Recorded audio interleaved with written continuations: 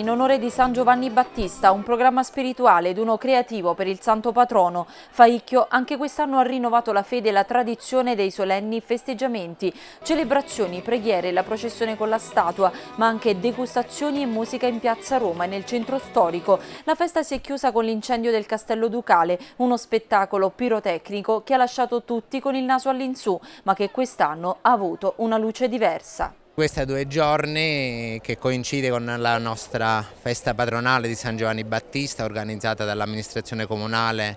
in collaborazione con il Comitato Festa ha visto principalmente l'esaltazione del nostro territorio, dei nostri prodotti tipici attraverso questa festa insieme fatta il sabato che ha coinvolto un po' tutti, esaltando poi il nostro territorio, la nostra ricchezza enogastronomica. Arriviamo ad oggi accompagnati da Lars Nova, questa splendida orchestra di artisti di conservatorio e poi questa esplosione di luci dell'incendio del castello. Quest'anno una luce diversa, l'ho detto nel ringraziamento, una luce che ci porta in quelle zone colpite dal terremoto.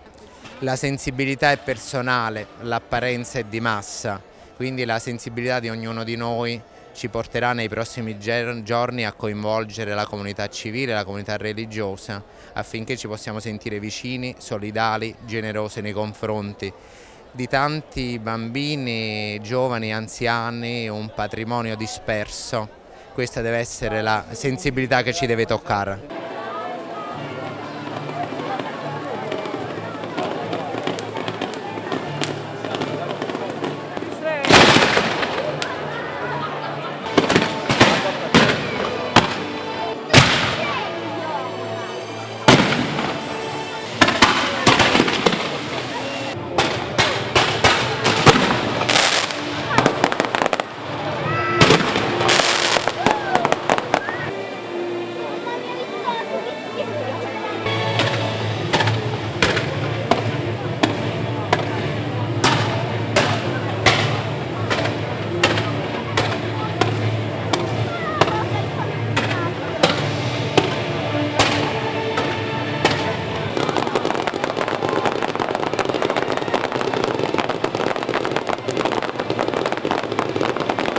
Sindaco, questa mh, due giorni dicevamo è una festa tipicamente religiosa ma eh, come lei eh, enfatizzava c'è anche un obiettivo, quello della promozione del, del territorio, tra l'altro questo incendio ha illuminato un carinissimo centro storico che è quello di eh, Faicchio eh, che è sempre nelle priorità eh, dell'amministrazione, quindi quanto questi eventi, eh, lo dimostra la presenza massiccia delle, delle persone qui presenti, quanto questi eventi possono servire per catalizzare l'attenzione quindi eh, cercare anche di promuovere sempre di più il turismo in questa provincia.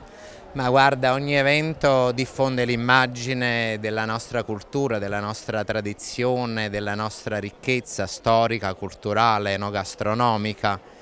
e tenere questo borgo medievale, questo castello che incanta, eh, perché no, l'amministrazione non deve investire, investire tanto, affinché attraverso questi eventi si possa esaltare il turismo, la cultura, l'ambiente, le nostre ricchezze. E devo dire che in particolare questo incendio del castello che abbiamo scoperto tre anni fa quando ci siamo insediati ha raccolto sempre più ammiratori, ha raccolto sempre più persone, è una folla oceanica questa piazza non riesce più a, a contenerli perché è rappresentata da un'esplosione di luce eh, si illumina il cielo, l'abbiamo visto e questo credo deve essere anche un po' il nostro pensiero, la nostra sensibilità che questo cielo illuminato possa illuminare anche quelle zone che in questo momento sono meno gioiose di noi.